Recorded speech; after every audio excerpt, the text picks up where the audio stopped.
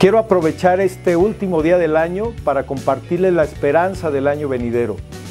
Vamos convenciendo a propios y extraños que las guerras son una calamidad, exigiendo el cese al fuego en todos los rincones del planeta. Luchemos este nuevo año para que la comprensión supere a la confrontación, donde cambiemos la agresión por la compasión y que el diálogo reemplace a la violencia y la paz a la guerra. Agradezco a todos mis compañeros trabajadores, desde el puesto más modesto hasta el más ejecutivo, su disposición y esfuerzo para mejorar la salud de las personas.